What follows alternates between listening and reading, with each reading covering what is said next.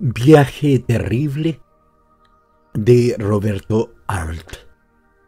Capítulo 1 Cierto astrólogo me dijo una vez que el signo zodiacal que presidía la casa de mi nacimiento indicaba, entre otros accidentes, temerarios peligros en viajes de mar, y yo sonreí con dulzura porque no creía en la influencia de los astros de manera que al iniciar mi viaje hacia Panamá ni por un momento se me ocurrió que me aguardaban aventuras tan tremendas como las que me permitirían compaginar la presente crónica, que, sumada a los informes telegráficos del corresponsal del Times en Honolulu, constituye una de las más sorprendentísimas historias que la geología haya podido desear para completar sus estudios sobre las dislocaciones que se producen en el fondo del Océano Pacífico.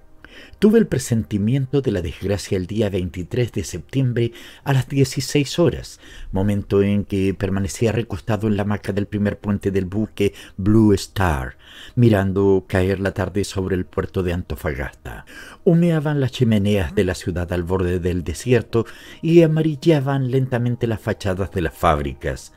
El arco del puerto, con sus casas escalonadas en la falda de los cerros, encajonaba calles en pendiente que parecían fundirse en la neblina azul que flotaba en los socavones de la cordillera. Durante el día había soplado un viento fuerte y el aire estaba cargado del rojizo polvo del desierto. A un costado del puerto, sobre la superficie montuosa de un cerro, trepaba la vía de un ferrocarril. De pronto, un convoy de pasajeros chapadas las ventanillas por el oro del sol, se perdió entre un abultamiento de montañas y no sé por qué el corazón se me encogió dolorosamente. Si en aquel momento hubiera escuchado la voz de mis instintos, habría abandonado el Blue Star, pero poderosas razones me impedían bajar a tierra. Esto hizo que, apartando el pensamiento del fugitivo presagio, fijara la atención en los hombres que vagabundeaban por el puerto. Como sobrevivientes de una catástrofe, pasaban cabalgando en mulos indígenas achocolatados, más haraposos que limosneros, de cerca parecían leprosos, los ojos despestañados, los párpados encendidos, requemados por el salitre de las calicheras. Un manco, con un loro montado en una pértiga, canturreaba mostrando el muñón ennegrecido. A veces, entre esta multitud de miserables descalzos, resonaba la bocina de un automóvil y se veía a los haraposos saltar precipitadamente a un costado para evitar que los aplastara la máquina. El Blue Star estaba amarrado frente a una casa de piedra. En el zócalo del muro se veía una muestra de latón. Bajando los ojos se descubrían numerosos botes que iban y venían en torno del buque, mientras que los brazos de los guinches rechinaban depositando en la cala del buque las últimas toneladas de salitre que podía estivar. Yo permanecía recostado en la hamaca, extraordinariamente fatigado, las articulaciones adoloridas debido a la quizá excesiva humedad atmosférica. Además había estado engripado desde que embarqué en Puerto Caldera, donde mi familia, un poco violentamente, me recomendó que no me dejara ver por la localidad durante mucho tiempo. El recuerdo de las últimas estafas divertidas que cometiera, sumado a la debilidad, hacía que lo que me rodeaba adquiriera en mi sensibilidad una especie de vidriosidad de alucinación. A momentos me imaginaba a mis compañeros de viaje bailando en los cabarets de Atacama. Luego entrecerraba los ojos y me dejaba estar, arrullado por el ronquido sordo de los guinches. La última vez que abrí los ojos observé algunas palomas que revoloteaban en torno de la torre de la iglesia, que sobresalía en la pendiente de casas de piedra. Por el puerto continuaba el desfile de indígenas montados en mulos. Entre las manchas verdes de un bosquecillo se extendía una muralla acornizada, agujereada por numerosas aberturas. Debía de ser un edificio público. Más allá una bandera inglesa flameaba sobre el llamado castillo de Ab el Kader, cuya torre redonda se recortaba en el aire rojizo como la avanzada de una ciudadela antigua. En ese instante estalló a mis espaldas la voz de mi primo Luciano. Tengo que comunicarte una noticia. Levanté los ojos. Luciano compuso el gesto que le era habitual, pues se había especializado en comunicarle a sus prójimos malas nuevas, e inclinando su cara amarillenta y angulosa hacia la mía, repitió Te juro que es tremenda. Si pudiera devolver el pasaje, lo entregaba ahora mismo. ¿Qué diablos pasa? En las Sirenas de Sal, el más importante cabaret de Antofagasta, me han informado que el barco no solo ha cambiado de dueño, lo cual no tendría importancia, sino que también le han cambiado el nombre. Primitivamente se llamó Don Pedro II y no Blue Star. Y tú sabes, barco que cambia de nombre está condenado a la desgracia. En aquel mismo momento Luciano se dio cuenta de que Mariana la casa escuchaba sus palabras y levantó expresamente la voz para interesarla en su noticia. Mariana la casa era una joven que en aquel viaje de circunvalación se había enredado en cierta manera con Ab el Cordá, hijo de un remoto emir árabe. Luciano estaba ligeramente enamorado de Miss Mariana, de modo que para engancharla en la conversación le preguntó Señorita Mariana, ¿no tenía usted noticia del cambio de nombre del barco? No. Ella se sentó a mi lado y luego ¿Tiene acaso importancia el cambio? Luciano prosiguió.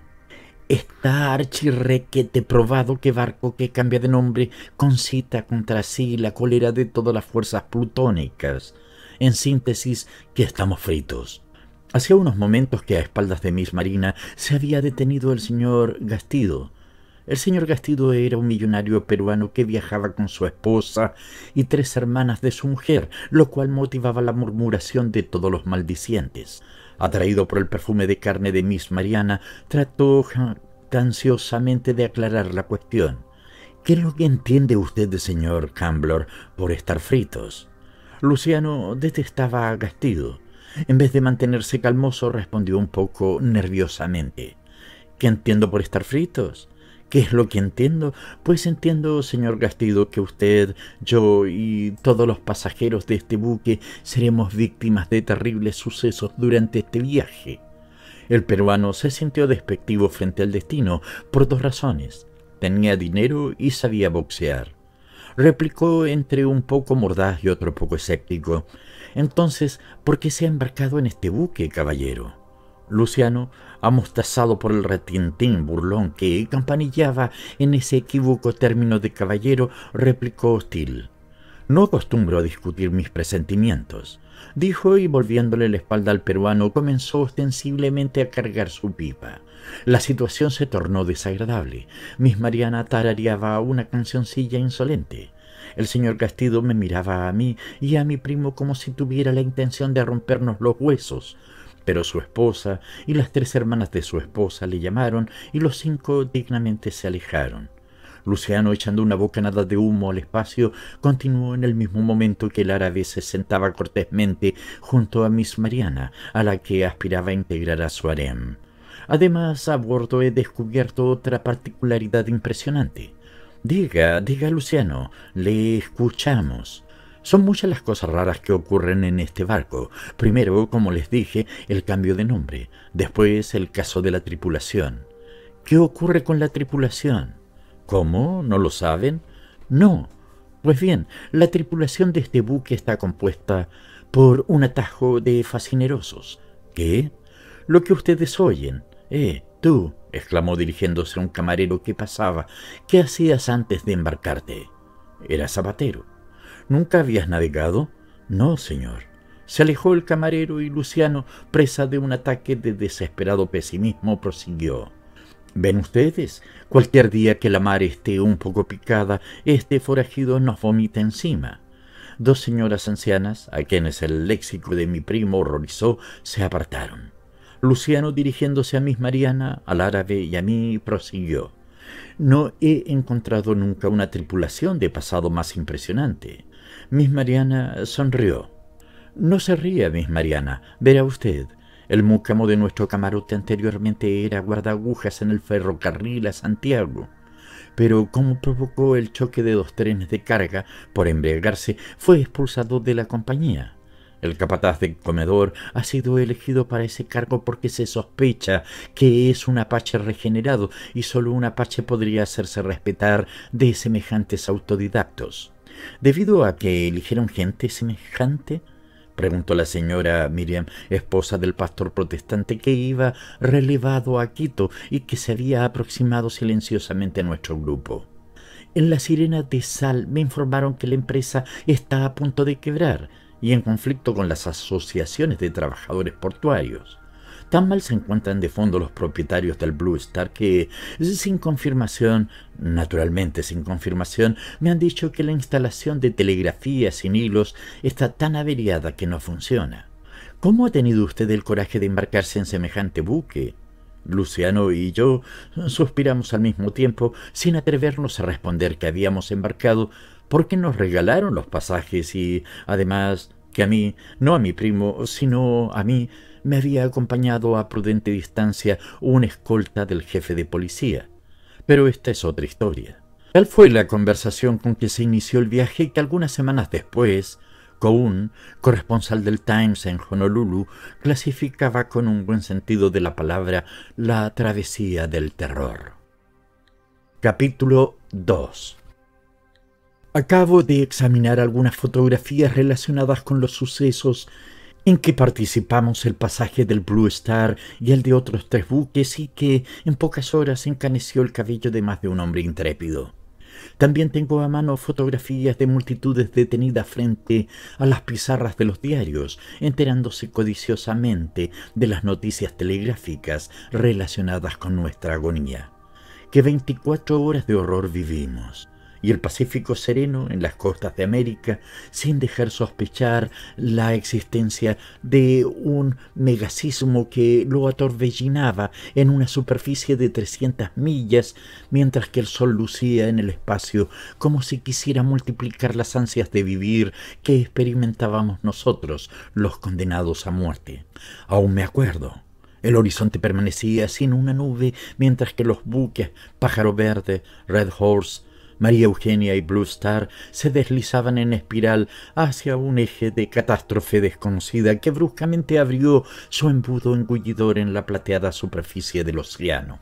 Los curiosos, detenidos frente a las pizarras de los periódicos, terminaban por comprender, estudiando la espiral dibujada en un plano horizontal, cuál era la naturaleza de esa fuerza oceánica que profundamente atorbellinada nos arrastraba hacia su centro como a ligeras brisnas y era terrible contemplar estas naves perdidas bajo el cielo resplandeciente, las máquinas en perfecto estado de funcionamiento, los cascos sin una grieta, las tripulaciones y el pasaje atemorizados en la borda, cogiéndose de los brazos de los oficiales taciturnos, algunos de los cuales terminaron por saltarse la tapa de los sesos.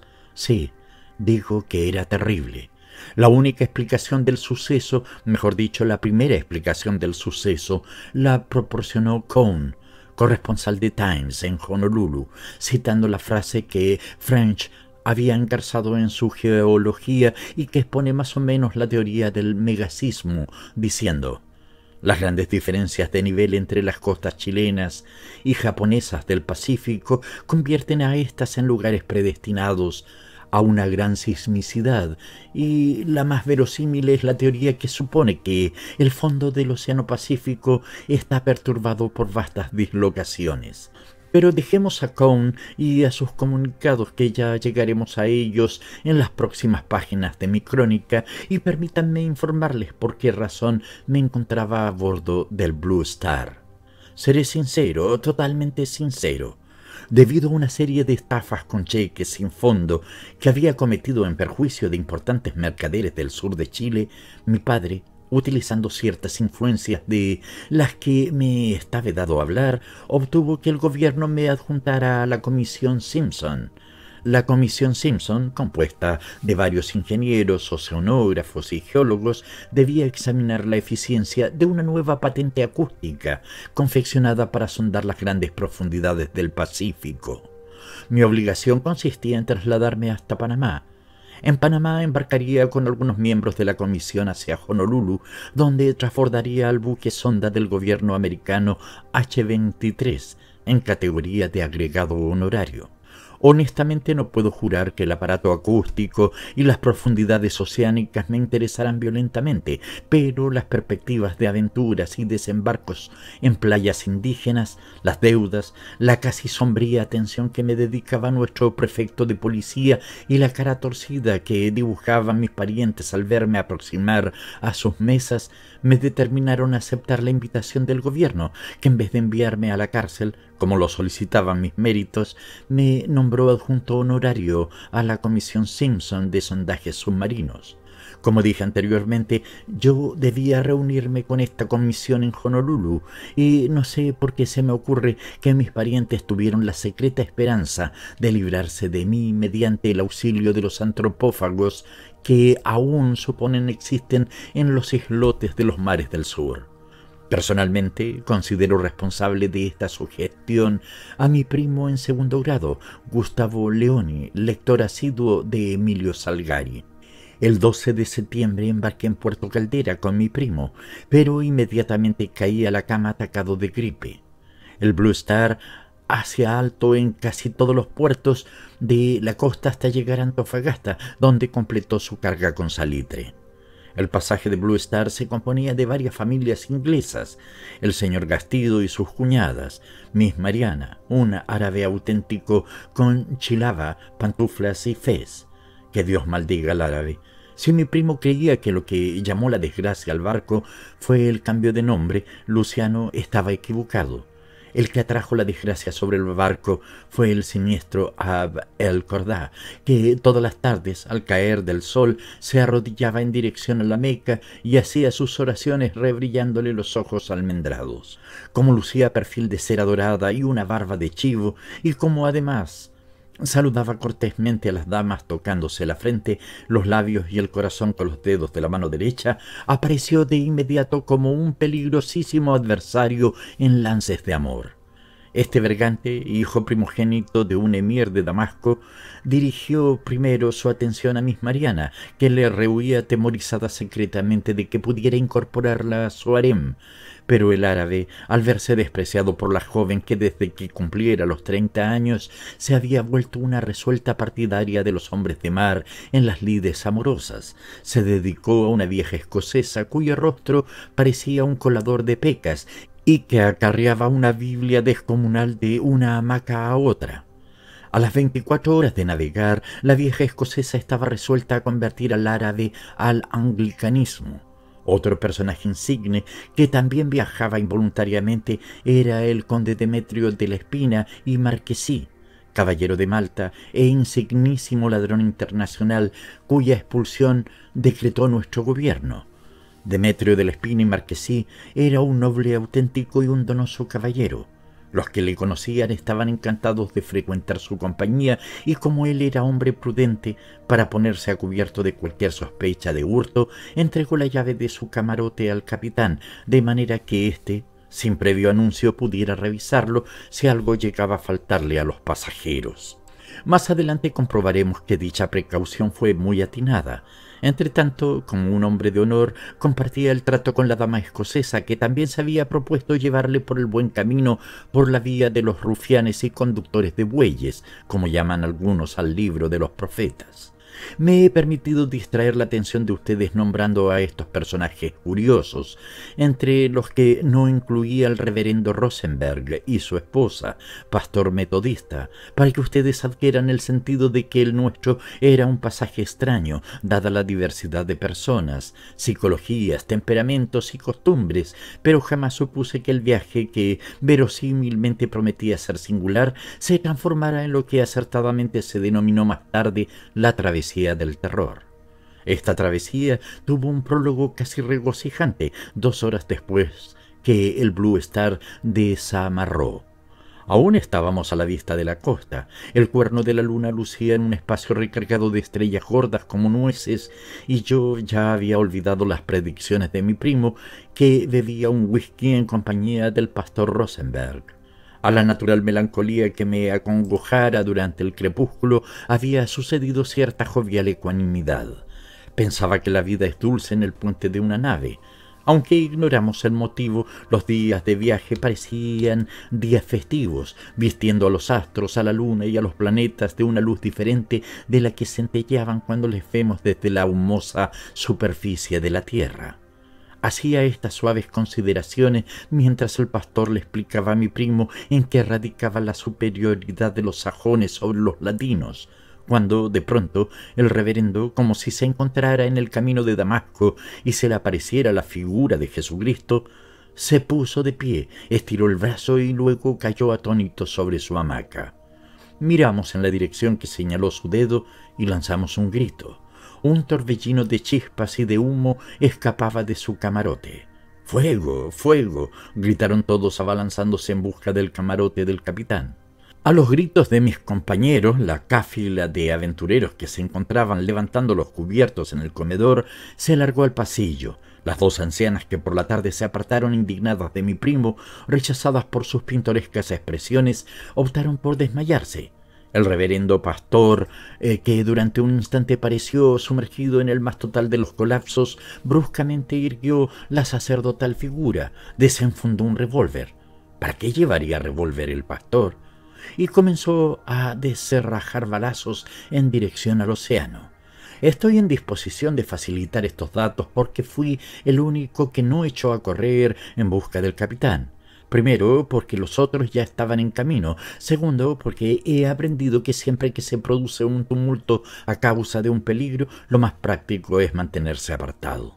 Recuerdo, eso sí, que observé al ave funesto, mesándose la barba. Se echó de rodillas sobre el puente en dirección a la Meca, al tiempo que rezongaba sus oraciones islámicas. Mientras Ab el Cordá invocaba el auxilio del profeta sobre la nave, Miss Mariana terminó de desprenderse del camarote del radiotelegrafista que, sonrojado como el mismo incendio, trataba de remediar el desorden de su casaca. Cuando el radiotelegrafista se percató del rulo de fuego que brotaba del camarote, profiriendo una blasfemia, se lanzó en busca de los tripulantes, pues nadie hacía nada por apagar el fuego. Finalmente un grumete, creo que el único y auténtico hombre de mar de a bordo, cogió una manguera, hizo girar la llave del depósito y comenzó a inundar el camarote del reverendo. Cuando el capitán y sus ayudantes se hicieron presentes, el incendio estaba apagado pero el capitán llegó a tiempo para escuchar al agorero de mi primo, que en un círculo de gente pontificaba. ¿Han visto? Esto es lo que sucede por cambiarle el nombre a un buque. Y lo que ha pasado no es nada comparado con lo que va a ocurrir. Deje usted de alarmar a los pasajeros, o lo encierro en un calabozo, rugió el capitán, mientras que con un gancho revolvía los fultos medio quemados, que era todo lo que quedaba del equipaje del pastor y como Luciano comprendió que el capitán era un bruto capaz de poner en práctica su amenaza, no repitió palabra. A partir de aquel momento se le vio por el Blue Star con aspecto de hombre cuya dignidad menoscabada no le permite exteriorizar sus aprensiones y si alguien clandestinamente le quería arrancar confidencias, él respondía muy enfático Prohibido ser adivino a bordo. Tal fue el accidente que amenizó la primera noche de viaje después que salimos del puerto de Antofagasta. En las cuarenta y ocho horas que siguieron no ocurrió nada digno de mención. El buque, navegando lentamente, seguía paralelo a la costa del norte. Al iniciarse la tercera noche de nuestro crucero, descubrí un pequeño secreto. El médico de a bordo, al cual estaba prohibido ejercer su profesión en tierra debido a su excesiva afición a la ginecología ilegal, en cuanto el pasaje se iba a la cama, se reunía con el señor X. Nunca pude recordar el nombre del señor X que se suicidó el día del gran terror agregado comercial a la Embajada del Japón, el pintor mexicano Tubito y otro señor del que tengo la seguridad que llenaba el vacío de sus ocios contrabandeando cocaína. Estos caballeros, por riguroso turno, se introducían en el consultorio del médico, retiraban del armario de primeros auxilios frascos rotulados con calaveras o inscripciones que rezaban uso externo y destapándolos bebían el ron que contenían. Al amanecer confundían alegremente sus respectivas camas. Una noche el médico partero se emborrachó tan desaforadamente que a toda costa quiso introducirse en el camarote del pastor. Alegaba que la esposa del reverendo estaba por alumbrar. armado de un pavoroso forceps, pretendía cumplir su extemporáneo despropósito. Finalmente rodó por el suelo y yo les prometí a sus compañeros guardar silencio sobre el incidente porque proyectaba usufructuar el noble néctar que contenían los frascos de veneno o uso externo. Sin embargo, rápidamente me desinteresé del cuadrumvirato alcohólico porque dediqué mi tiempo a cortejar a Annie Green, que ocupaba con su madre uno de los camarotes del puente superior. Annie jamás he conocido criatura más voluptuosa a pesar de la química industrial que esta muchacha. Annie era ingeniero químico. Yo me sentía arrebatado por un torbellino de sabiduría si asomaba la cabeza al pozo de sus conocimientos. Cuando a pesar de la química pasaba su brazo fresco por mi pescuezo, yo entraba en el éxtasis que debe de gozar un sapo en presencia de la rosa. A veces, de codo en la pasarela olvidábamos el caminar del tiempo. El agua se desflecaba en coágulos de espuma contra el alquitranado casco de la nave. Un viento que venía de la India, cruzando toda la anchura del Océano Pacífico, adhería el vestido a sus formas y las moldeaba. Entonces el cielo me abría sus puertas y yo, semejante a un espíritu borracho de luz, creía pasearme por un bosque embellecido de vastos árboles de emoción. Al detenerme frente al espejo del ropero de mi camarote, mi cara aparecía tatuada de muescas rojas. Era el rastro pintado de sus besos. Sin embargo, estaba preocupado.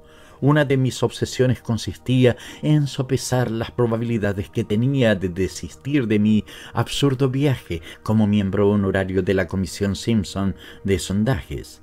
¿Qué me importaban a mí las profundidades del suelo marino del Océano Pacífico? Lo que deseaba era seguir con Annie hasta Shanghái. Desvariando de esta manera solía encontrarme despierto a la luz del nuevo día. Entonces, tapándome la cabeza con una almohada, trataba de dormir. Quizá estaba desesperado. Un engranaje invisible me había enganchado la voluntad entre sus dientes. Yo me sentía triturado por toda la potencia planetaria de la fatalidad. ¿Con qué dinero iba a vivir en Shanghái? ¿No estaba acaso más pobre que una rata? Un destino negro me había amarrado a su carro, un destino cuyo definitivo aspecto no conocía aún, pero que me mantenía apretado a su designio con su poderoso puño. A cada hora que pasaba experimentaba un rencor profundo contra mis parientes, contra mi padre, que me entregó como uno de sus rotos esclavos a la ejecución de un trabajo disparatado que no podía hacerme en modo alguno provechoso. Si yo era un bribón, ellos no lo eran menos. Mi mismo padre no era acaso un audaz afortunado que... Corramos la página. Capítulo 3 Annie, en cambio, me abría las puertas de otro mundo más allá en el oeste. Yo desconocía el idioma de aquel mundo amarillo y curvado, pero esto no era lo grave. Lo grave consistía en que yo carecía de una profesión, lo cual me ponía en inferioridad de condiciones frente a Annie. Esta incapacidad podía transformarse en el eje de nuestra futura desdicha. Dije anteriormente que Annie era ingeniero químico y esta referencia puede carecer de importancia cuando los informados carecen de conocimientos científicos que les permitan apreciar cuánto trabajo y estudio se requiere para alcanzar este título. Annie era un sabio o poco menos que una sabia. Su especialidad eran los coloides y dentro de los coloides la goma, es decir, el caucho o mejor dicho, el látex. A lo que parece, Annie había descubierto un procedimiento para evitar que la deshidratación del látex provocara su coagulación, lo que le permitiría efectuar poco menos que una revolución en la industria de los tejidos engomados, o mejor dicho, a mi entender, en la industria de los impermeables. Annie me hablaba constantemente de la revolución o ruina que les acaecería a los fabricantes de impermeables en cuanto su invento se pusiera en marcha. Yo no entendía una palabra de química, pero no era todavía suficientemente bruto para desestimar las confidencias de Annie. Su proyecto, o mejor dicho, sus miras acerca de mi persona eran amplias. Ella tenía el proyecto de convertirme en su manager. Yo sería el encargado de ponerle el revólver al pecho a todos los fabricantes de impermeables. Adquirían la patente de Annie o Annie los reventaba. Pero si el método químico de Annie no daba resultados, ¿qué hacía yo? Annie daba por hecho que todos los fabricantes de impermeables se apresurarían a adquirir los derechos de su invención, pero yo dudaba y llegaba en último término a la conclusión de que un día me encontraría casado con un ingeniero químico y en terribles condiciones de inferioridad. A nadie se le oculta que todo profesional apasionado desea tener a alguien con quien intercambiar impresiones acerca de las experiencias que recoge en su profesión. Y si se casaba conmigo, no podría conversar de goma, ni de química, ni de coloides. En primer término, porque yo no sabía absolutamente nada de química, y en segundo término, porque la química no me interesaba. ¿Y qué podría yo responderle a Annie el día que me dijera que llegaba tarde a casa porque se había quedado conversando con un colega amigo de especialidades de la materia? Y si Annie se quedaba conversando con un especialista en la materia, ¿quién podía impedir que Annie se enamorase de él? No era esto seguro, pero ¿no es acaso una ley que los iguales se buscan? Terminaba de hilvanar silenciosamente dichas reflexiones la quinta mañana de nuestro viaje mientras formaba parte de la rueda de pasajeros que integraban la señora del pastor Rosenberg y mi primo. Luciano trataba de consolar a la señora del pastor de la pérdida que sufriera en el incendio. Tres pijamas, una salida de baño, varias camisetas y fotografías de la localidad abandonada cuando la señorita Herder, una feminista sueca que ocupaba un camarote junto a los de la familia del caballero peruano, enarbolando sus flacos y pecosos brazos, apareció corriendo al tiempo que gritaba. Me han robado el equipaje, me han robado el equipaje. Un equipaje no es un pañuelo que se escamotea a las primeras de cambio. Involuntariamente dirigimos los ojos al conde de la Espina y Marquesi, que conversaba risueñamente con Miss Mariana.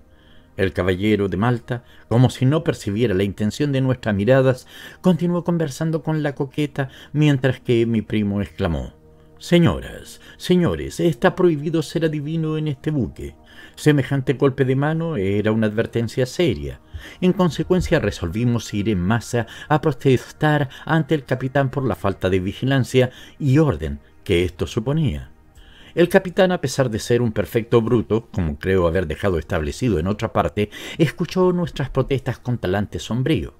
A él también le impresionaba la coincidencia, llamémosla coincidencia, del cambio de nombre del buque con una serie de acontecimientos cada vez más graves, como si efectivamente se desarrollaran bajo el auspicio de esa superstición murmuró algo que no entendimos y luego, con pasos enérgicos, se dirigió al camarote de Miss Herder. El conde de la Espina y Marquesi, por supuesto, no se movió del lugar donde conversaba con Miss Mariana. En el camarote de Miss Herder se descubría el orden del vacío. Faltaban dos maletas de cuero razonablemente pesadas y un maletín de mano. En el maletín de mano, Miss Herder guardaba los originales de una novela, yo conocía dos capítulos y cuando me enteré de la desaparición del maletín pensé que los dioses protectores del sentido común trataban de impedir que mi Herder intentara estupidizar a sus prójimos revelándoles las tonterías que germinaban en su caletre.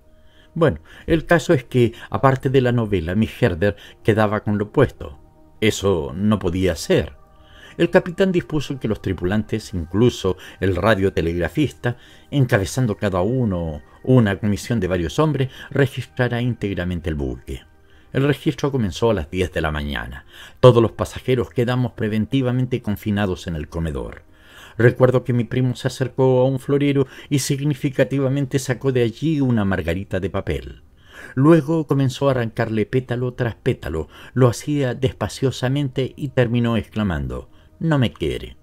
Con ello quería expresar que el capitán no encontraría las maletas de Miss Herder y esta conclusión era tan arriesgada que el caballero peruano, dirigiéndose a mi primo, le dijo Le apuesto a usted cien soles que las maletas de Miss Herder aparecen.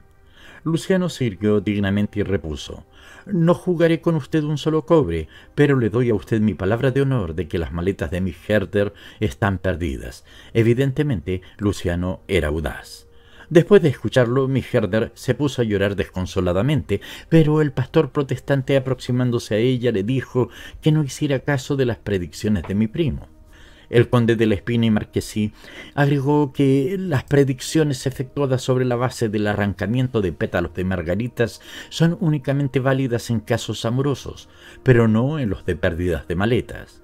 Esta ingeniosa sutileza del conde encontró un amplio círculo de partidarios y Luciano, enfoscándose en una sonrisa pedantesca, dijo textualmente Declino pronunciarme sobre la interpretación del conde, pero sostengo nuevamente que las maletas no aparecerán. Evidentemente, la actitud de Luciano era estúpida. Me acerqué a él y le dije ¿Qué diablos ganas con malquistarte con esta gente? Todos están deseando que alguien te tome de los pies y te arroje al agua. ¿Por qué no te callas? La señora del pastor dijo, mientras su marido se sumergía en la lectura de la vida de San Pablo, que ella sabía echar las cartas y que en broma las echaría para comprobar si las maletas de Mick Herder aparecerían o no, y así lo hizo. La mujer del pastor, por medio de la baraja, llegó a la conclusión de que las maletas serían halladas dentro del camarote de un hombre rubio, y todos acogieron con sonrisas estas optimistas anticipaciones, y Luciano, por toda respuesta, se limitó a encogerse de hombros. A las cinco de la tarde, con particular satisfacción de mi primo, apareció el capitán, la cara de bulldog enrojecida hasta las orejas. Las maletas no habían podido ser recuperadas. El Personalmente se encargó de revisar los ventiladores y las carboneras. No sabía qué decir. Las maletas de mi Herder evaporadas tan absolutamente inspiraron al conde de la Espina y Marquesí, que poniéndose de pie y mirándola a mi Herder dijo Mia cara signorina. Al conde le gustaba mezclar palabras italianas con las castellanas. Mia cara signorina, no padecerá usted de accesos de sonambulismo y en uno de esos ataques habrá arrojado las maletas al mar. Miss Herder negó terminantemente padecer de sonambulismo. Por último, las mujeres del pasaje resolvieron hacer una colecta de prendas hasta que llegaran a un puerto donde la compañía de navegación, según el capitán, indemnizaría a Miss Herder de la pérdida de sus efectos. Hubo un momento en que Miss Herder pareció dispuesta a suicidarse, pero el hijo del emir de Damasco se dedicó a consolarla en nombre de la colectividad musulmana con tanta vehemencia que Miss Herder optó por no suicidarse y sí rendirse al encanto magnético que trascendía de los ojos morunos del gran Barbián. Bruscamente, Miss Herder lanzó un grito de alegría. Recordaba ahora haber dejado una copia de su novela en la casa de una prima que vivía en Puerto Caldera. Excuso decir que mi primo se esponjaba de alegría. En un arranque de vastas intuiciones en el mundo de los espíritus, exclamó, Esto no es nada comparado con lo que va a suceder. La esposa del reverendo Rosenberg repuso, ¿Cree usted en serio que va a ocurrir algo más? Sí, la pobre mujer dejó caer la cabeza sobre el hombro de su esposo. El reverendo examinó a mi primo con sospechosa curiosidad. El conde de la Espina se inclinó confidencial sobre el oído de Miss Mariana. Annie susurró en mi oreja. Tu primo es un personaje terrible. Y en aquel mismo momento el heroico grumete, que tan denodadamente se batiera con las cortinas inflamadas del camarote del reverendo, se nos acercó anunciándonos que el capitán quería hablar con el señor Luciano. Después Luciano nos contó que el capitán le pidió encarecidamente que no alarmara a la tripulación con sus pronósticos. Verdad es que el capitán, y esto nos lo dijo después el capitán, le ordenó a Luciano que se dejara de profetizar y enérgicamente bajo la expresa y formal amenaza de encerrarlo en un calabozo como volviera a abrir la boca para vaticinar desgracias. Pero ya era tarde. Los augurios de mi primo habían dado vida a un secreto temor que se despertaba en el subconsciente de todos los tripulantes. Hasta el último de los carboneros tenía conocimiento de que a bordo existía un pasajero con un impresionante acierto para olfatear desgracias. Las señoras sentíanse tan atemorizadas que, reuniéndose en un rincón del comedor, observaban asustadas a mi primo. Otras, rezando novena, le deseaban una mala muerte. En general, todos le cobraban antipatía a Luciano a medida que se iban sobreexcitando. Varias damas llegaron a sentirse enfermas, algunas no se atrevían a abandonar la litera, como la madre de Annie, quien, con gran alegría de mi parte, sustrayéndose a la vigilancia maternal, venía a charlar a mi camarote. Otras personas, en cambio, reaccionaban tan nerviosamente que, porque un camarero, el zapatero redimido del tirapié, dejó caer una bandeja en el comedor, La tercera hermana de la mujer del caballero peruano se lanzó a chillar histéricamente. Fue menester retirarla del comedor presa de un ataque de nervios.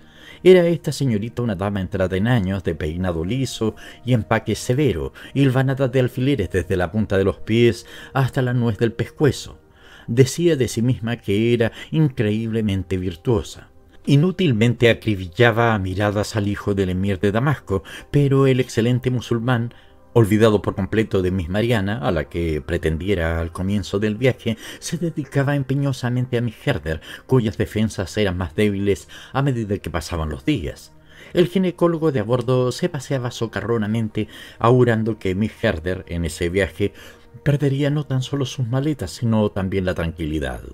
En realidad aquel fue el viaje de los compromisos, pues Miss Mariana parecía ahora dispuesta a descifrar todos los misterios del alfabeto morse, pasándose los días en que el radiotelegrafista estaba libre en el camarote de éste. En vista de semejante pérdida, el conde de la Espina y Marquesi se asoció al contrabandista de cocaína y en la sala de primeros auxilios, él, don Tubito, el médico y el señor X se entregaban a desaforadas partidas de naipes, desplumándose recíprocamente como taúres. El capitán transcurría sombrío sus días, encerrado en la timonera, y por intermedio de Miss Mariana supe que el aparato de telegrafía sin hilos no funcionaba aún. Nuestra situación evidentemente era antirreglamentaria y extraña, ya que nos encontrábamos sumamente alejados de la costa. Hacia el este quedaba el Perú. Navegábamos ahora sobre los abismos más profundos que los oceanógrafos creen haber sondado en el Océano Pacífico. Muchos comenzaban a sentirse deprimidos, algunos creían percibir una amenaza de muerte suspendida sobre sus cabezas. Parecía que una deidad superior tratase socarronamente de darle razón a mi primo. Annie ya no traía sus libros de química al camarote. Sus brazos enlazándose tras mi nuca me ataban a su vida con nudo inmortal cuando sus labios se entreabrían para adherirse a los míos en un beso semejante al de una ventosa, el Blue Star pudiera haberse ido al fondo de los abismos. No nos hubiéramos enterado. Sin embargo, una noche en que me paseaba por el primer puente aguardando la hora de reunirme con Miss Annie, me ocurrió un hecho sumamente extraño. El médico de a bordo se acercó cautelosamente a mí y me dijo no tomará usted a mal que le pregunte si está muy enamorado de Miss Annie. En otra persona esta pregunta no me hubiera sabido bien. En el médico borrachín semejante curiosidad me causó gracia y no tuve reparos en contestarle. Sí, estoy enamorado. ¿Por qué? Si yo le hiciera una confidencia respecto a Miss Annie, ¿me delataría usted? Esa impertinente curiosidad que es la eterna enemiga del enamorado me perdió. Sin saber reprimirme, le respondí con avidez. Cuente con mi discreción. ¿Me da usted su palabra? Sí. Pues tenga cuidado con lo que hace, porque Miss Annie está loca. Me quedé mirándolo atónito. ¿Loca? Sí, ella cree que es ingeniero químico y que ha inventado no sé qué disparates. No es posible. Pues ya lo ve. Le digo que no veo nada. Sin embargo, es como le digo. Mire, doctor, yo he conversado con Annie muchas horas, salvo esa particularidad de la química de la que tiene un endiablado conocimiento. Pues está loca por eso, por creerse ingeniero químico. ¿Nada más? ¿Le parece poco? No, no es que me parezca poco, sino que no termino de entenderlo. Mire, la historia es más simple de lo que usted cree. Miss Annie tuvo un hermano que era efectivamente ingeniero químico. Misani estaba sumamente encariñada con ese único hermano, que murió a consecuencia de un accidente sufrido en un laboratorio durante la verificación de un experimento. La impresión que le causó este suceso fue tan tremenda que acabó por sufrir un trastorno mental. ¿Duda usted? Le juro que lo escucho y no sé qué pensar. Es terrible. La madre, por consejo de unos especialistas, ha sacado a viajar a esta desgraciada hija. Bueno, le dejo porque me esperan en la enfermería. Desapareció el médico y yo quedé en el puente de la nave frente al océano negro y al cielo cuajado de estrellas rutilantísimas y como quien ha visto un fantasma. Miss Annie loca y yo enamorado de una loca. Me apreté las sienes con desesperación y de pronto, como si alguien, como si otro fantasma quisiera salvarme de la tremenda revelación, una voz sutil murmuró en mi oído interno. Todo lo que te ha dicho ese médico borracho es mentira.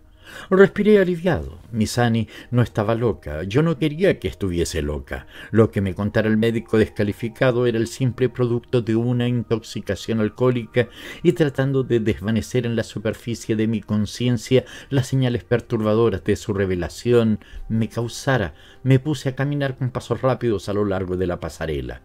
De pronto se desprendió del horizonte oceánico una luna amarilla y enorme como la rueda de un carro que proyectó entre el confín y la nave una vereda de agua amarilla.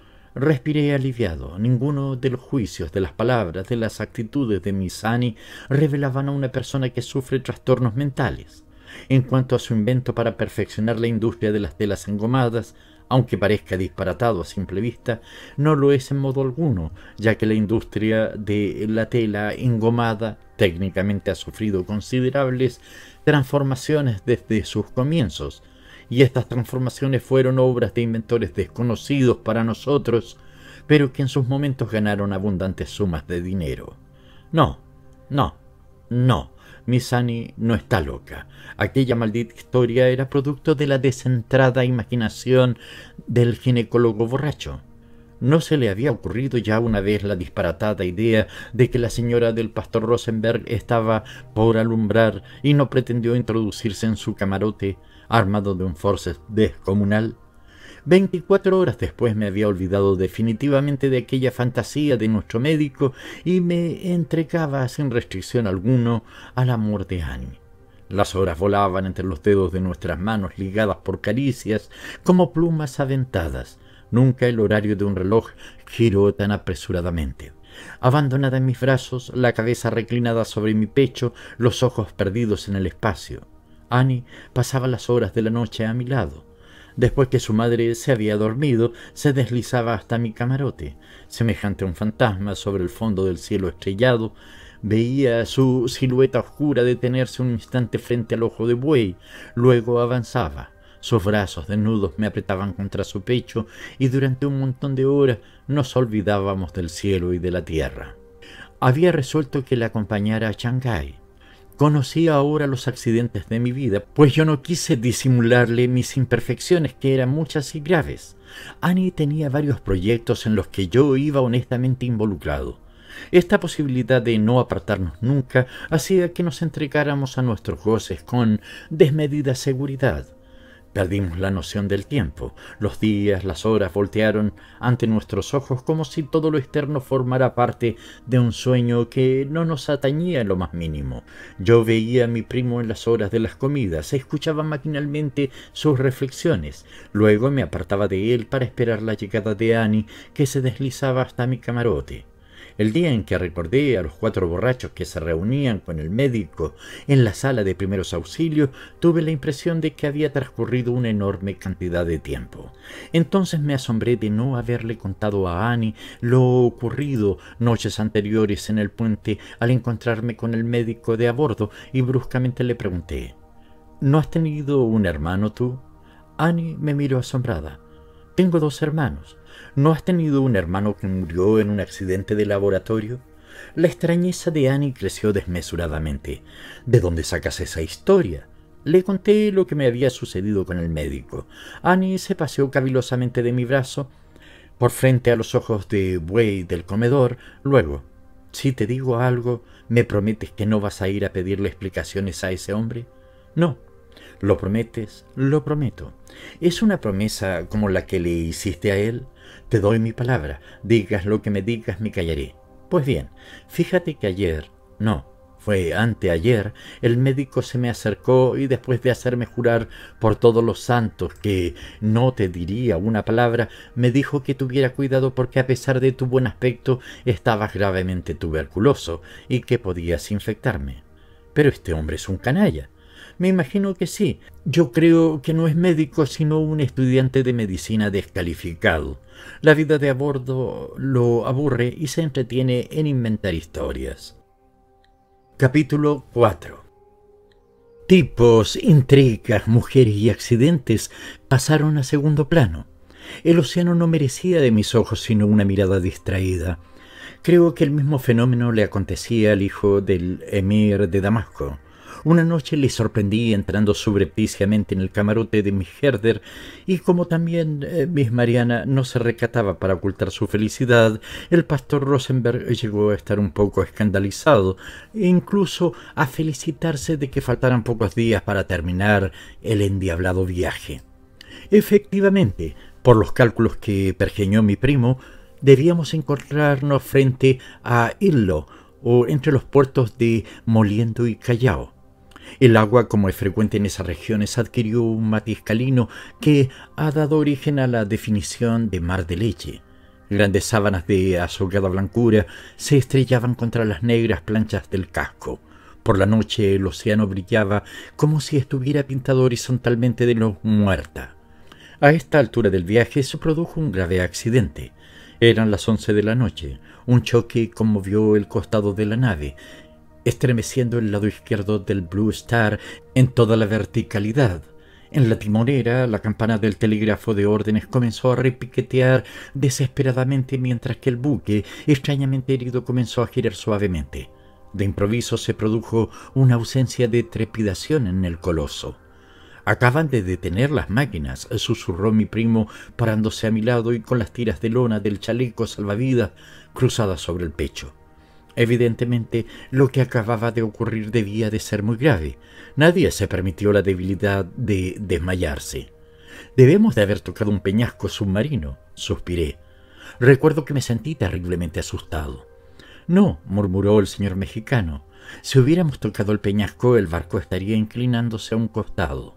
La observación del señor Tubito era razonable. La gente, alarmada por el tremendo silencio mecánico, abandonaba apresuradamente los camarotes. Annie, en compañía de su madre y una señora irlandesa, vino a refugiarse a mi lado. Bajo sus chales traían los chalecos salvavidas. Sin embargo, nada permitía suponer la existencia de una avería que hiciera agua en el casco. Sobre la llanura fosforescente en amarillo muerto el buque, monstruosamente silencioso, giraba sobre sí mismo, semejante a un toro que aguarda la acometida de su enemigo. En pocos minutos el pasaje se encontraba en la pasarela buscando con los ojos enredor la presencia física del peligro. Todos hablaban en voz baja como si subconscientemente no quisieran con un sonido extemporáneo agravar el desequilibrio invisible, terriblemente latente en el espacio.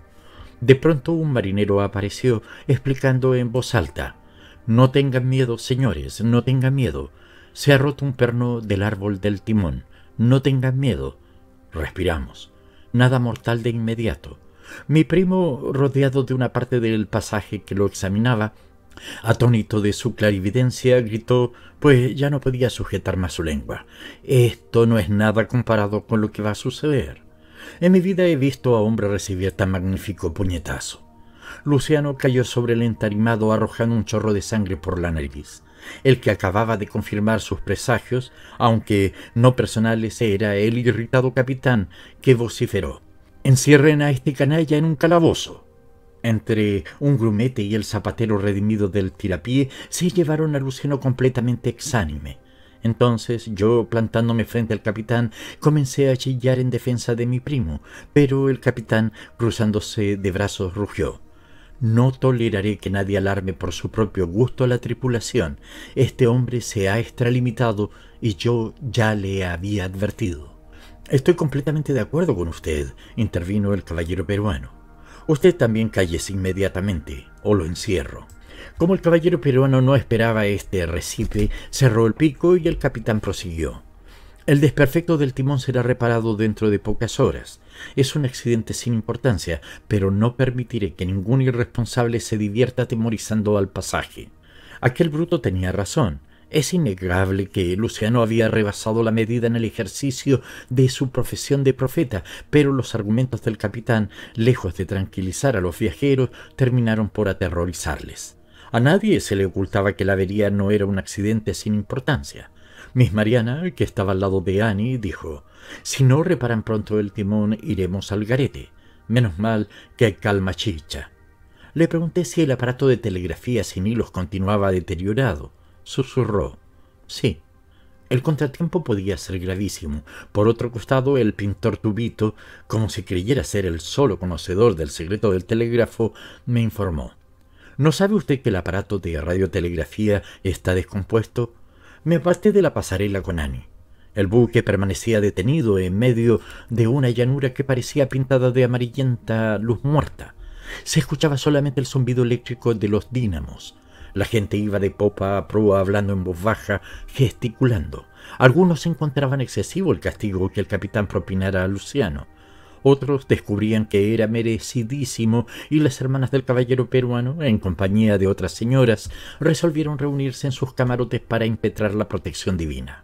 Ab el Cordá, el hijo del emir de Damasco, hombre piadoso a pesar de sus costumbres disolutas para nuestro criterio occidental, desenfundó su Corán y se dio a meditar en las apariencias que revestiría el ángel de la muerte cuando viniera a pedirle cuentas de su conducta terrestre. Miss Mariana tornó a sumergirse en el camarote del radiotelegrafista. Miss Herder, la feminista, me causó la impresión de estar dispuesta a convertirse al islamismo porque junto al árabe le prodigaba los consuelos de una uri pecosa, suponiendo que las uries puedan tener pecas. El conde de la Espina y Marquesi se anegó con el médico y los truanes de su compañía en otra interminable partida de póker. Los ganapanes del servicio y comedor, el ex guardagujas y el apache renegado me parecieron dispuestos a degollarnos a las primeras de cambio, excitados por esa atmósfera de fatalidad que parecía pesar sobre el buque y de la que mi primo Luciano era el único e infalible clarividente. Aprovechando que el capitán y sus hombres estaban ocupados en la reparación del aro del timón, bajé al compartimiento de máquinas, a cuyo costado, entre la escalera 2 y 3, se encontraban los calabozos y me puse al habla con Luciano a través de los agujeros de la puerta de hierro. Su voz, sofocada por el tabique de hierro, resopló indignada. No te desprendas del salvavidas. Vete a mi maleta y tráeme el revólver. ¿Para qué quieres el revólver? Para saltarle los sesos a ese canalla. No tengas miedo. Igual naufragaremos y nadie nos podrá pedir cuentas por la muerte de esa bestia. Mi primo estaba trastornado de furor.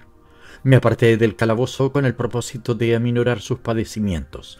Durante toda la noche los mecánicos, vigilados por el capitán, repararon la avería del timón.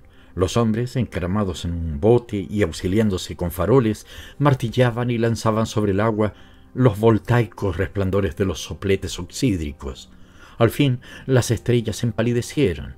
Por el este apareció el borde de un sol rojo que fue creciendo como una llanta de fuego. Los marineros izaron el bote a las seis de la mañana. El buque vibró bajo la trepidación de las máquinas en marcha y un grumete anunció que la avería estaba reparada. Media hora después, el Blue Star seguía su ruta hacia el norte. Habíamos perdido siete horas de viaje. No sé por qué razones. De pronto, en el diario de a bordo, una pizarra, fue colocado un parte indicando que el buque no se detendría en los puertos de Callao, Ancón ni Ferrol, sino en Malabrigo, en el límite de Ecuador. Capítulo 5 Veinticuatro horas después de este accidente, Miss Mariana se presentó en el comedor acompañada del radiotelegrafista y nos anunció Señores, les presento a mi novio. Nos casaremos cuando lleguemos al puerto de Malabrigo. Una ovación acogió la noticia. Miss Mariana se casaba. Ab el Cordá fue el primero en felicitarla. El conde de la Espina y Marquesi, al oír la noticia, se alejó del comedor para regresar pocos minutos después con un hermoso collar de perlas falsas que le ofreció con el más señoril de los ademanes. La segunda hermana de la mujer del caballero peruano murmuró en voz suficientemente alta para que la oyeran otros. ¿Dónde se habrá procurado ese collar? Era visible la intención de la pregunta. Fingimos no escucharla y por la noche hubo un gran baile a bordo. Mi primo Luciano, a especial pedido de Miss Mariana y del radiotelegrafista, fue puesto en libertad. Del magnífico puñetazo que le propinara el capitán, conservaba la nariz hinchada como una toronja. La señora escocesa, que renunciara a su esperanza de convertir al árabe y de regresar al conde de la Espina y Marquesi, tomó bajo su tutela a mi primo. Mi Herder bailó con el árabe y Annie, tomándome de un brazo, me llevó a popa sentados en un banquillo, juntas las mejillas, las manos pasadas por las cinturas, nos dedicamos a contemplar el océano y a soñar en nuestro porvenir. Para ella estaba resuelto que yo iría a Shanghái. Nos casaríamos allí. Yo no podía evadirme de uno de los varios proyectos que tenía para convertirme en un hombre útil a la comunidad. El proyecto o los proyectos de Annie eran sumamente razonables. Había pasado el brazo en torno de mi cuello y me decía, tú abandonarás ese absurdo viaje a que te han destinado tus parientes y que es otra estafa. ¿Sí? ¿Vendrás conmigo a Shanghái? ¿De qué viviré?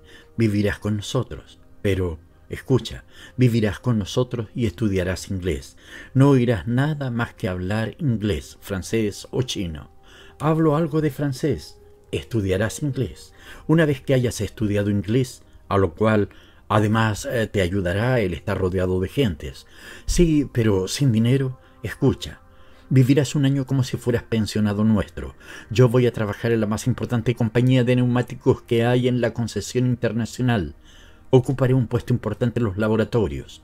Cuando tú hables y leas regularmente el inglés, te conseguiré un cargo en la compañía o en la administración. Sí, pero en tanto, ¿en tanto qué? ¿No te das cuenta de que lo que me propones, en fin? Annie se echó a reír. Querido mío, tú deseas tanto como yo ir a Shanghái. Te duele haber sido un pillete por temor de que la gente continúe creyendo que lo eres.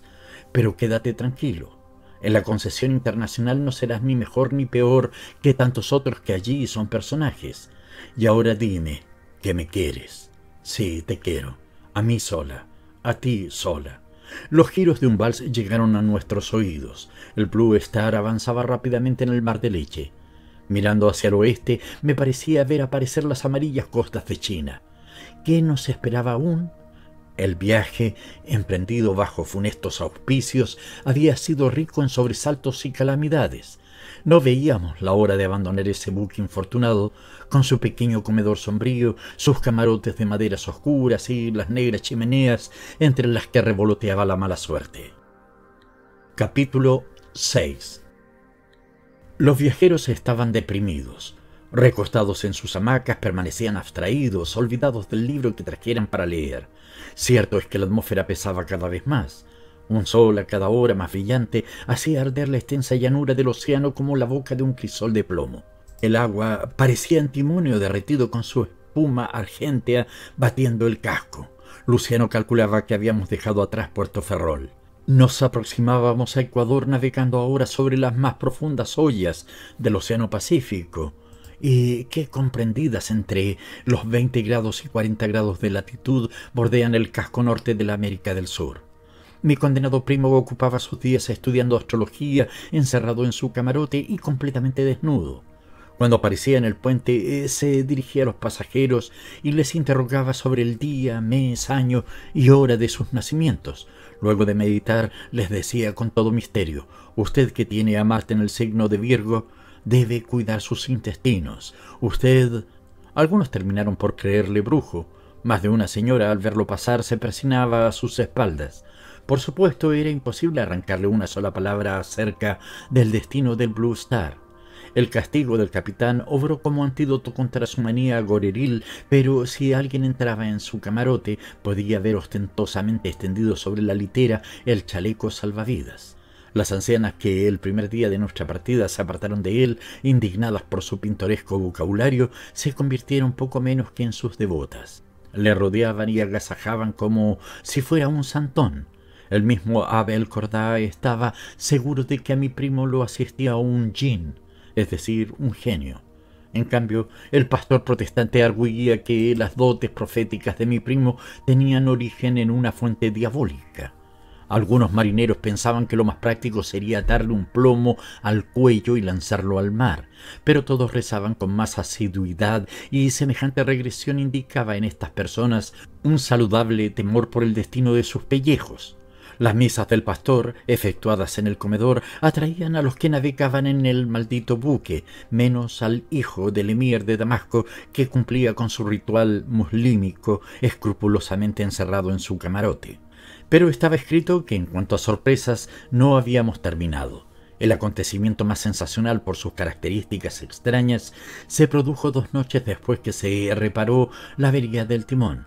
Daban las diez de la noche en el reloj del entrepuente cuando los que acabábamos de tomar té en el comedor fuimos testigos del más extraordinario espectáculo que pudiéramos imaginar, y este extraordinario espectáculo consistió en que el capitán traía, poco menos que arrastrándola por los cabellos, a la segunda hermana de la esposa del caballero peruano. Un marinero mantenía acogida por las piernas a la escuálida señorita, mientras que las manos de la solterona, revestidas de guantes de goma roja, se agitaban poco menos que desesperadamente en el espacio. El capitán sostenía en la mano libre una tijera sin ninguna contemplación, ayudado por el marinero, introdujo a la solterona en el comedor y la depositó violentamente sobre una silla, donde la mujer, sin quitarse los guantes de goma, comenzó a reparar el desorden de sus cabellos con espectacular calma. Los testigos nos agrupamos silenciosamente en torno de los actores de este suceso y el capitán, mostrándonos la tijera, se explicó. Acabo de detener a la señorita Corita en el mismo momento que con esta tijera pretendía cortar el cable principal del alumbrado de los camarotes para producir una nueva alarma. Estupefactos miramos a la señorita Corita como si la viéramos por primera vez. El hecho era innegable y lo comprobamos minutos después, revisando el cable mordido por la hoja de acero de la tijera que aún conservaba partículas de cobre. La solterona, sorprendida, no había tenido tiempo de quitarse los guantes. El capitán prosiguió. Esta dama es la que ha incendiado el camarote del pastor Rosenberg. Esta dama es la que arrojó al agua el equipaje de la señorita Herder, y ahora pretendía acrecentar la atmósfera de temor que aquí existe, provocando un peligroso cortocircuito. Prevengo a la tripulación y el pasaje que procederé sin contemplaciones contra todos los alarmistas y saboteadores. Mientras el capitán hablaba, nosotros examinábamos a la peligrosa solterona. Sentada en el borde de una silla, su piel, en la estampa demacrada y lívida, parecía erizarse como la de un gato frente a un mastín. De pronto alguien volvió la cabeza y descubrió al caballero peruano observando atónito el semblante de su cuñada. Parsimonioso avanzó entre nosotros, se detuvo en la misma línea que estaba detenido el capitán y preguntó Dinos, Corita, ¿por qué has hecho eso? Doña Corita envolvió a su cuñado en una mirada despreciativa y sardónica. Luego, muy serena, respondió al tiempo que se examinaba las uñas. Como el señor Luciano presagia siempre desgracias, quise hacerle fama de adivino.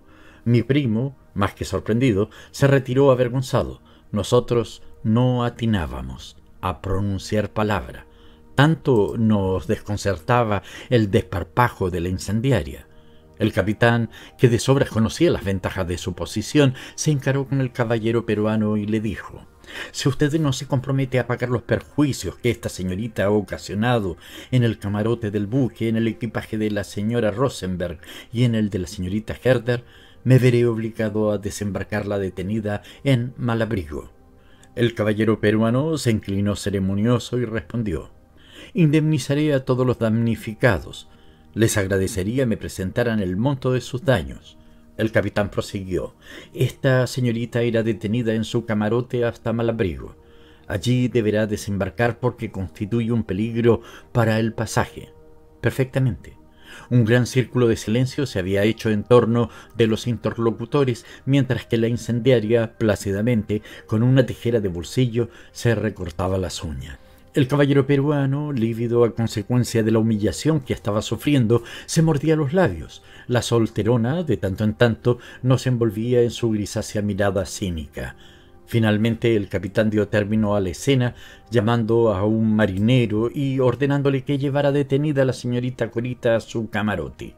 Tras ella salieron su cuñado y el capitán, y nosotros, una vez que los tres desaparecieron, quedamos comentando el extraordinario caso de manera que esta venenosa señorita era la que trabajaba de fatalidad a bordo.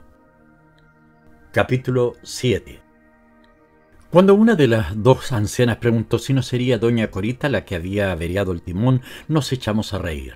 No, la cuñada del caballero peruano no tenía fuerzas físicas para hacer saltar los pernos de los unchos del árbol del timón, ni el timón se encontraba al alcance de su mano dañosa, pero por fin esta temible compañera de viaje estaba bajo la tutela de un marinero y no era probable que pudiera repetir sus atentados.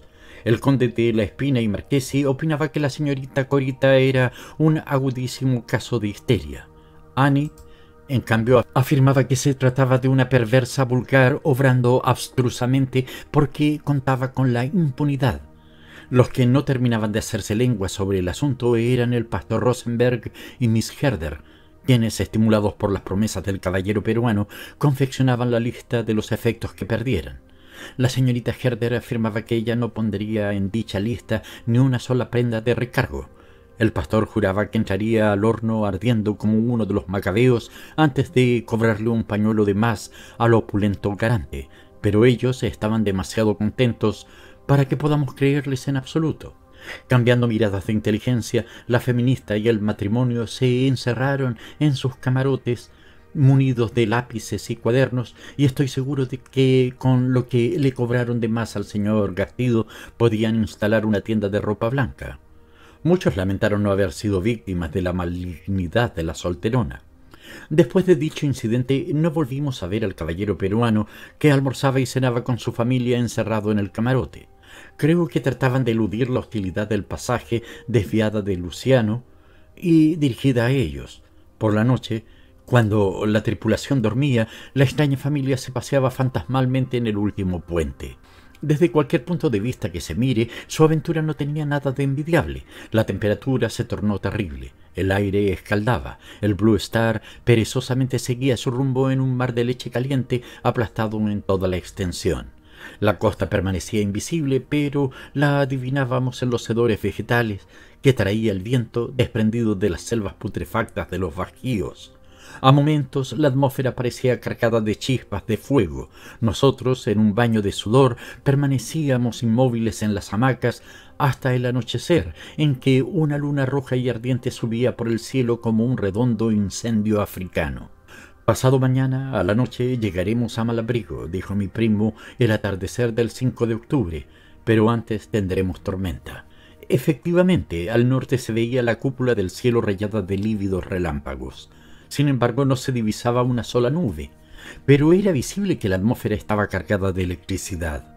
Entrada la noche, hubo un momento que pareció que navegábamos en un océano de fuego. El horizonte era una muralla negra lamida por el oleaje de esta fosforescencia, quieta y muerta. Si hubiéramos visto caminar fantasmas sobre las aguas, no nos habríamos asombrado, Tan tétrico pintaba el paisaje donde nosotros por momentos no sabíamos si estábamos vivos o muertos. El capitán andaba inquieto.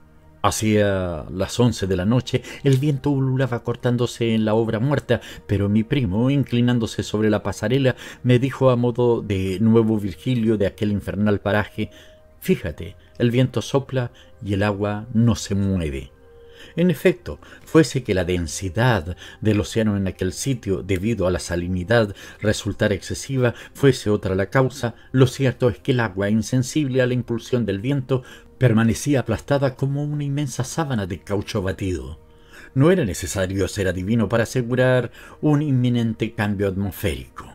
Annie, despidiéndose de mí, dijo que aquella noche no me acompañaría.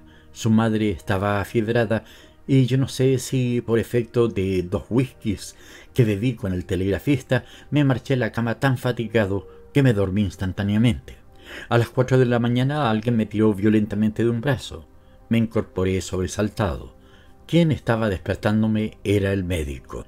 Lo acompañaban el señor X, agregado comercial a la Embajada del Japón, el señor Tubito y el traficante de alcaloides. Este consorcio de vividores me miraba de hito en hito. El médico, una vez que verificó que yo estaba bien despierto, me preguntó Usted es el que va agregado a la Comisión Simpson de sondajes, ¿no? Sí. ¿Usted es geólogo? No, no, yo no soy geólogo. Pero usted dijo que nos encontramos sobre las ollas más profundas del Océano Pacífico. Sí, pero eso no significa que yo sea geólogo. Bueno, ¿qué es lo que desea? El médico se rascó la barbilla y luego, con una precisión de lenguaje que no hubiera jamás soñado en un trabajador de Zulaya, respondió Parece que nos ha cogido el radio vector de un remolino de agua de cien millas de diámetro. La terminología del médico me extrañó. Él se apercibió y aclaró. Yo nunca debí ser médico, sino ingeniero mecánico. En fin, creo que está claro. El buque es arrastrado por un remolino semejante al que se forma en la superficie acuosa de una bañera que se está desagotando. La única diferencia consiste en el diámetro. En la bañera el radio vector del remolino mide 5 centímetros, aquí 100 millas, así dice el segundo. Me di cuenta de inmediato a dónde se encaminaba la suposición del médico. Repuse. Creo que su razonamiento tiende a demostrar que se ha hundido un trozo de corteza del suelo oceánico sobre una gran caverna plutoniana. El agua del océano, rodando al interior de aquella monstruosa caverna, forma el remolino que nos arrastra. Justamente, eso dice el segundo. Lo que no acierto a imaginar son las dimensiones de semejante caverna, repuso el pintor mexicano. Respondí. Para que pueda formarse una idea de las magnitudes terrestres, le diré que la profundidad submarina más acentuada equivale a una ranura de 10 milímetros de profundidad trazada en una esfera de un metro de diámetro. Aunque lo que menos debe importarnos ahora son todos estos chismes. ¿Qué pasa en concreto?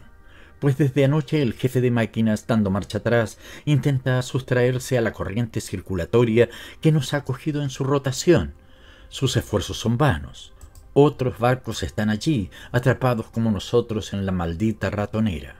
Me vestí apresuradamente. El cielo de la mañana estaba decorado de vastos caracoles de estaño que con lentitud cruzaban hacia el poniente la bóveda celeste. A través de las extensas llanuras de agua se veían otros buques cuya posición respecto al nuestro se mantenía inalterable, pues eran arrastrados circularmente a la misma velocidad angular que el Blue Star. Los mástiles tristemente inclinados, los cascos como negros monstruos verticales, componían un dibujo desconcertante. El señor X, la visera de la gorra hundida hasta la punta de la nariz, me observó. Fíjese que la superficie del agua ha cambiado. En vez de estar rugosa parece una rueda de aluminio en rotación. El símil era exacto, el buque estaba empotrado, por decirlo así, en un inmenso disco de aluminio líquido que giraba aparentemente con una velocidad periférica de treinta millas por hora. Cada diez horas dábamos una vuelta de remolino completa para acercarnos más al centro abismal. Esta vez estamos atrapados, dijo a mi espalda el conde de la Espina y Marquesi. Podemos encomendar nuestras almas al diablo. Yo no soy hombre de experimentar extraordinario entusiasmo cuando se trata de asomarse a un peligro, y de pronto sentí que algo se desplomaba vertiginosamente en mi interior. Tuve la impresión de que me derretía, miraba alrededor y no sabía hacia qué dirección escaparme. Haciendo un tremendo esfuerzo me sobrepuse al miedo, dedicándome a observar a mis prójimos. Los oficiales en compañía del capitán conversaban animadamente en la timonera. A las once de la mañana todos nos reunimos en el comedor para escuchar al pastor Rosenberg, que comenzó a leernos un trozo de la Biblia. El tema de lectura del pastor versaba sobre la profecía de Jonás. Con voz cargada de dignidad comenzó a leer y tenía dispuesto al Señor un grande pez que se tragó a Jonás, y estuvo Jonás en el vientre del pez tres días y tres noches. E hizo Jonás oraciones al Señor Dios suyo desde el vientre del pez, y dijo, En mi tribulación llamé al Señor y me oyó, desde el sepulcro clamé y oíste mi voz, y me echaste en lo profundo, en el remolino de la mar, y la corriente me cercó, todos tus remolinos y tus ondas pasaron sobre mí. Aquí el pastor Rosenberg se interrumpió y dijo, Qué maravillosa coincidencia nos ofrece la piedad del Señor a través de los siglos. No solo nosotros estamos y hemos sido cogidos por un remolino, sino que en los pasados siglos hubo también un hombre llamado Jonás, sobre el que pasaron todos los remolinos y las ondas del mar. ¿Y qué sucedió con este hombre Jonás, hermanos míos? ¿Qué pasó? Pues algo muy simple lo dice aquí el santo libro. Y vino otra vez la palabra del Señor a Jonás, diciendo, Levántate y ve a Nínive, ciudad grande, y predica en ella el sermón que yo te digo. Nuevamente el pastor cerró el libro y dijo, ¿qué significa esto? Pues que Jonás salió del vientre del pez grande, sano y salvo, por haber orado al Señor. Y en prueba de que salió sano y salvo del vientre del pez grande, el cual algunos suponen que era una ballena, fue enviado a Nínive a predicar un sermón. ¿Qué significa, vuelvo a preguntar, esta coincidencia de hechos? Pues que nosotros, como Jonás, nos salvaremos y entraremos en nuestras respectivas ciudades para predicar y ensalzar la grandeza de Dios que nos salvó de tan grande peligro como es un remolino. Mientras el pastor Rosenberg nos edificaba de esta sabia manera, la señora escocesa se golpeaba el pecho con los puños, llevando en cierto modo el compás de la lectura. Las mujeres estaban llorosas. Mi primo, sentado en un rincón, trataba de sofocar sus sollozos. El pánico lo había trocado en una criatura. Pero no fue él solo, no. A las tres de la tarde el drama comenzó a convertirse en tragedia. Un tripulante de color oyó una conversación del telegrafista en la que éste manifestaba que posiblemente seríamos tragados por un embudo oceánico que nos sumergiría en una caverna submarina y su terror fue tan desmesurado que, sacando de su cucheta un revólver escondido, se descerrajó un balazo en la cabeza al mismo tiempo que se lanzaba al océano.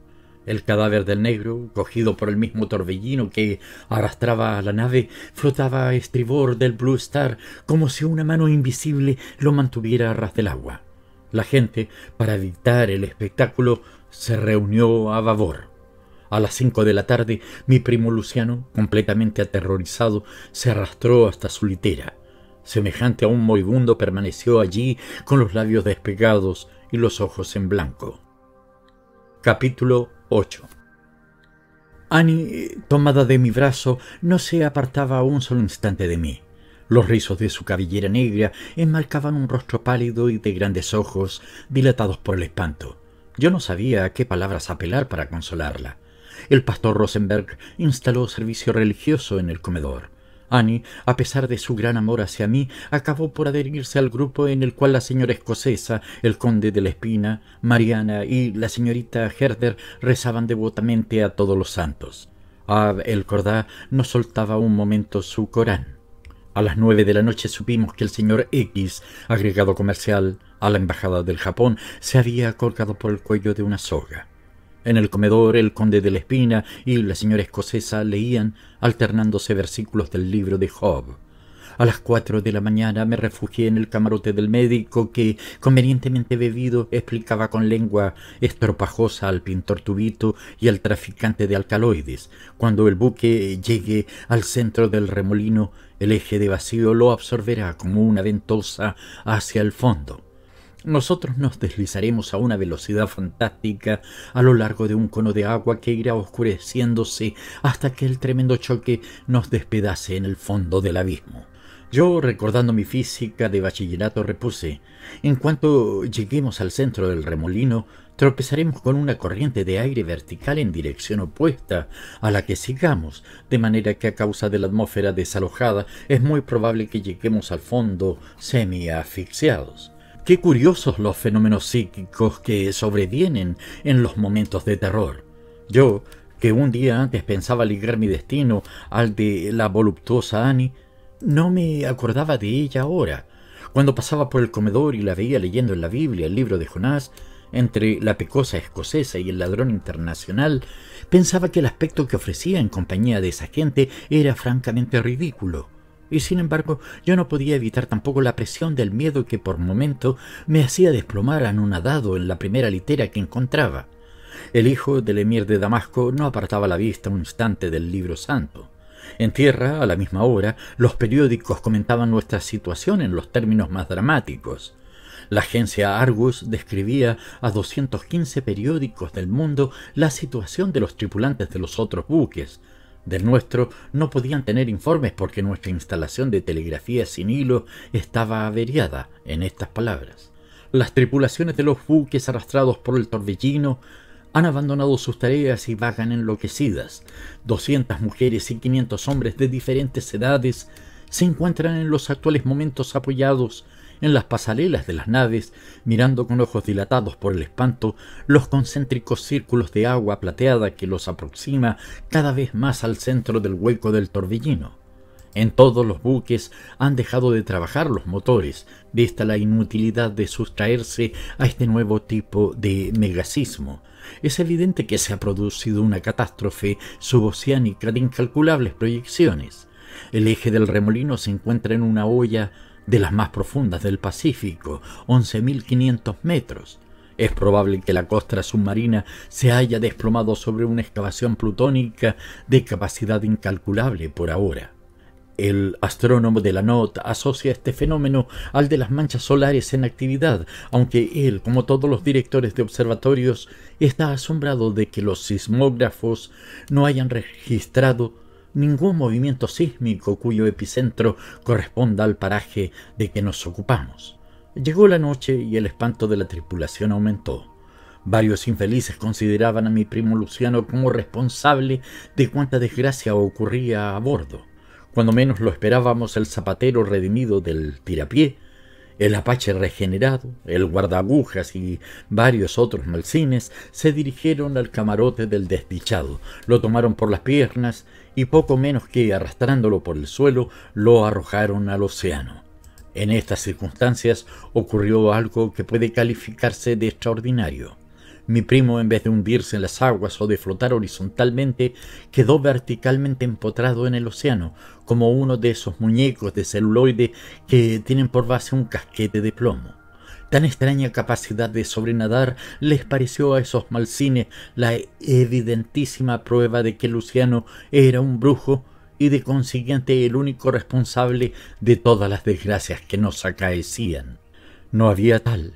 Luciano no era un brujo, sino un desgraciado que había cometido la imprudencia de endosarse un chaleco salvavidas debajo de su holgada bata. Cuando vi sobrenadar a mi primo pensé que esta prueba dulcificaría el ánimo de esos borrachos, pero ocurrió precisamente lo contrario, y es que los salvajes, después de cerciorarse de que Luciano estaba vivo, llamándole para ello a grandes voces, y después de contestarles él, Cogieron cuanto podía utilizarse como proyectil y comenzaron a lapidarlo. Un gancho de hierro se incrustó en la cabeza de mi primo como si ésta estuviera compuesta de la tierna sustancia de un queso de bola y un lingote de plomo. Dio fin a la vida del desgraciado. Así acabó mi noble pariente Luciano. Era un hombre singular, aficionado a meterles miedos en el cuerpo a sus prójimos y el mismo miedoso como una liebre. Tenía una singular predisposición para encontrarse en todos los parajes donde ocurre algo que es prudente evitar. Siempre le gustó hacerse el fantasma. Recuerdo que cuando pequeño se envolvió en una sábana y ocultándose en un recodo del jardín, en la noche, bruscamente salió al encuentro de una asustadiza tía, la cual, a consecuencia de la impresión, quedó definitivamente estúpida. Quisiera poder expresarme acerca de Luciano en términos más encomiásticos, pero estoy seguro que desde ultratumba él se irritaría si yo hiciera un elogio convencional de sus deméritos. En diversas oportunidades le advertí, y conmigo otros que le conocían mejor que yo, que fuera más circunspecto, pero la vanidad lo perdió. Particularidad curiosa, una quiromante le dijo que moriría en una rueda, y siempre creyó que sería bajo una rueda de automóvil, y no la rueda de agua en la que pereció. Por eso huía de las calles de las ciudades, prefiriendo habitar en los pueblos tranquilos y solitarios. Pero está escrito que nadie puede soslayar su destino. Si yo hubiese podido salvarle, lo habría hecho, pero no me atreví a intervenir, temeroso de que también me asesinaran. El capitán, desde su timonera, vio consumarse ese crimen sin intervenir, inmóvil como un sonámbulo. A las doce de la noche llegaba ya a nosotros desde el horizonte el rugido tremendo que producía el agua al ser engullida por la caverna submarina. En cada puente el pasaje formaba corrillos de sombra que gesticulaban espantadas. Arriba, en el espacio, las estrellas lucían como siempre. Abajo, el remolino, compacto en su masa acuosa, rotaba como el seguro volante de un motor recientemente puesto en marcha. Salió la luna y era un espectáculo sorprendente esta llanura de agua convertida en una terza rueda de plata, cuya pulida superficie refractaba la claridad lunar como un reflector parabólico. En ciertas partes de la nave nos veíamos los rostros inundados de grandes haces de luces y sombras, como si estuviéramos situados en un continente lunar. A las tres de la madrugada nuestro capitán, que entonces supe que se llamaba Henry Topman, entró en su camarote y se deserrajó un pistoletazo en la sien. Capítulo 9 La disciplina de la tripulación se relajó por completo. El zapatero redimido del tirapié el guardagujas, el despensero y el cocinero organizaron una francachela monstruosa en el departamento de máquinas. Los cánticos y sus voces subían desde las entrañas del buque como un coro infernal del centro de la tierra. Cuando el primer maquinista quiso intervenir, casi le rompen la cabeza con una pala carbonera. No marchaban mejor las cosas en otros buques. El María Eugenia, que traía una tercera clase abundante, fue teatro de diversos excesos. Un grupo de árabes se acuchilló con un grupo de judíos. El segundo maquinista de guardia tuvo que matar a balazos a un fogonero enloquecido de terror. El señor Ralph, un comerciante de la isla de Aoba, asesinó a su mujer y luego se arrojó a las aguas. Amaneció un segundo día de horror. Como los marineros del Blue Star habían abandonado sus tareas, el buque parecía una posilga. Donde se ponía el pie se tropezaba con montones de basura. Una sección de la carga, compuesta de carne congelada, debido a que el servicio frigorífico estaba abandonado, comenzó a heder espantosamente. Parecía que llevábamos un cargamento de cadáveres. La desmoralización se hizo tan ostensible que todos terminamos por armarnos con lo que teníamos a mano, pues no sabíamos si la muerte debía llegarnos de la mano de los hombres o del furor de los elementos. ¿Qué diré de nuestra gente? El conde de la Espina, harto de esperar a la muerte y más harto de leer versículos en la Biblia, atentó contra el pudor de la señora escocesa. La señora escocesa se defendió tan vigorosamente con un paraguas que el pobre conde salió de la reyerta con un ojo reventado.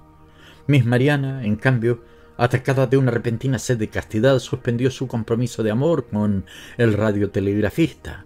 Arrodillada en compañía de Miss Herder en un rincón del comedor, oraba en voz alta, mientras que la señora de Rosenberg, el caballero peruano, su mujer y sus tres cuñadas formaban un grupo que, lanzando alaridos sincrónicamente, se golpeaban el pecho como si suplicaran a los cielos que descargaran sobre ellos toda su cólera.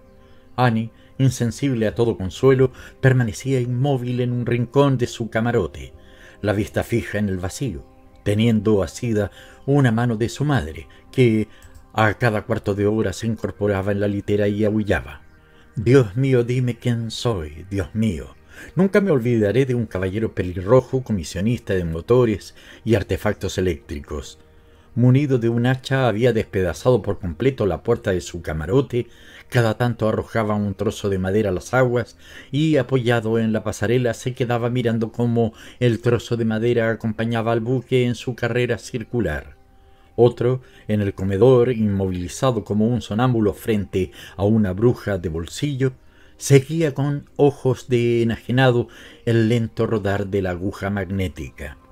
Una mujer desmelenada como una furia, con el vestido rasgado sobre el pecho, permaneció ocho horas aferrada a un mástil, fija la mirada en aquel redondo espejo de plata, pulimentado por la implacable claridad que caía de los cielos.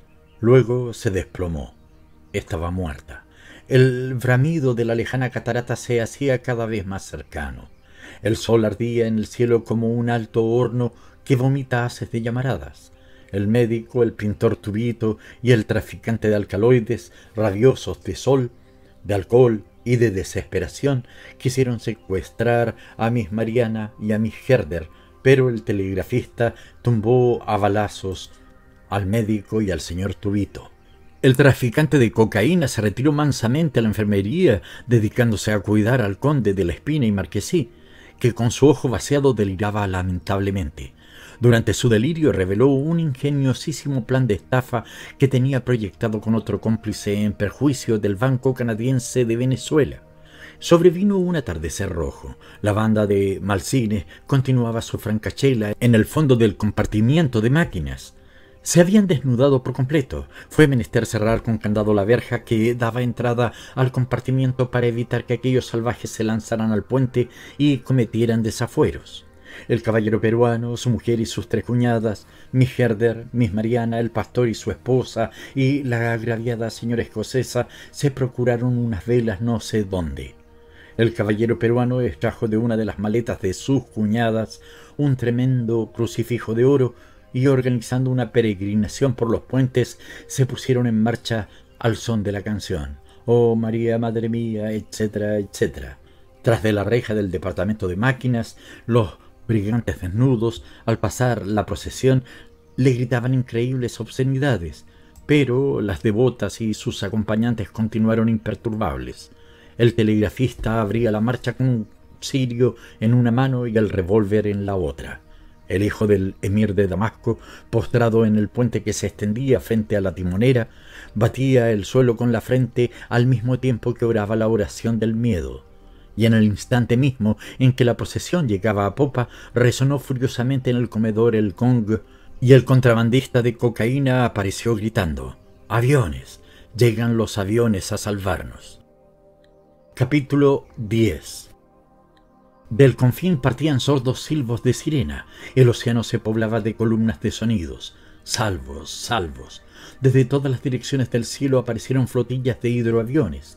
Yo me eché a llorar como una criatura al abrazarlo al contrabandista de alcaloides. Esta vez una racha de locura cruzó la nave de un rincón a otro. Las mujeres se arrodillaban en cubierta, de diferentes ángulos salían hombres barbudos y ojerosos. La banda, que escandalizaba desnuda en el fondo del compartimiento de máquinas, tumbó la verja y en cueros como estaban se lanzaron danzando por todos los pasillos del buque, al tiempo que aullaban de alegría. Ahora sí que nadie se irritó. Aparecieron cajones con botellas de vino y cerveza. Se bebía. Hubo cantos en coro, todos iban y venían, nadie se lamentaba de los bienes que tenía que perder. En cada pasillo, frente a cada camarote, había un tumulto movedizo y siempre renovado de personas que con las manos extendidas ofrecían un vaso de champán y a medida que aumentaba la alegría de salvarse, el ruido humano crecía más resonante. De pronto me acordé de Annie. Corriendo me dirigí a su camarote. Continuaba allí, sentada a un costado de la litera de su madre. Una expresión extraña aperplejaba su rostro. Annie, le grité. Annie, ¿no me entiendes? Ella no me miró. Sonriendo con desvanecida sonrisa de criatura, decía No quiero comer. Te digo que no quiero. Entonces comprendí. Se había vuelto loca. Afuera zumbaban poderosamente las hélices de los primeros aviones que partían cargados de resucitados. Annie volví a gritarle Annie, ¿no me entiendes? y ella repitió Te digo que no quiero. Entonces me senté tristemente en la orilla de la litera y allí me quedé junto a ella hasta que vinieron a retirarnos. Bajamos por una escalerilla hasta un bote. Yo iba junto a mi muchacha como un muerto. Un hidroavión se aproximó a nosotros. Annie no pronunciaba una sola palabra. Yo tomé su mano fría. Ella, su madre y yo subimos al aparato ayudados de un mecánico. Entonces la madre, cuando ya estábamos sentados, me dijo en voz baja, ella siempre estuvo enferma, siempre, ¿sabe? Y yo supe en ese momento que el médico de a bordo no había mentido. Fin.